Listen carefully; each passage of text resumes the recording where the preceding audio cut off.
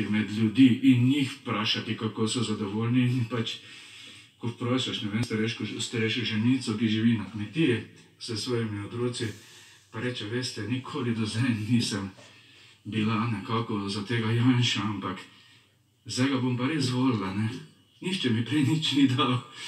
Tako da ne govorimo samo o teh bombončkih, ampak na splošno pač, da se pri ljudeh pozna, da so nekako v teh letih bili, so imeli podporo in so lažje zaživeli, ne. torej, tudi